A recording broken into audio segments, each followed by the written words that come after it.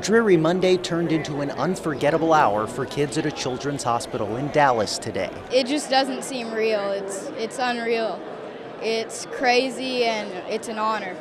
Since 1986, one of the teams in the Cotton Bowl visits Scottish Rite Hospital for Children in Dallas. So Ryan, his sister, and his mom spent the afternoon sifting through a sea of maroon in hopes of getting autographs and pictures with their favorite Aggies. Just this experience and the, the kids getting to meet some of the players and be this close to everyone is so exciting. Texas Scottish Rite Hospital for Children specializes in pediatric orthopedics, treating children with scoliosis, limb, hip, and hand disorders. In the last year, the hospital has had nearly 19,000 patients, making today even more special. It's uh, role models for our kids that we come in and see, and they see these young men and how they conduct themselves, and uh, they relate so well to the kids.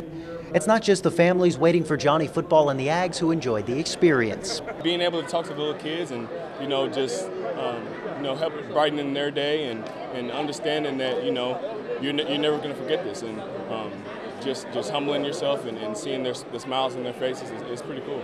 Win or lose on Friday, Ryan will never forget meeting his favorite Aggie. Johnny Manziel, he's great. He brings um, a different element to the field just when you think you have him, he runs out of the pocket. But Ryan was able to track him down for an autograph. Chris Vlahos, KAGS HD News.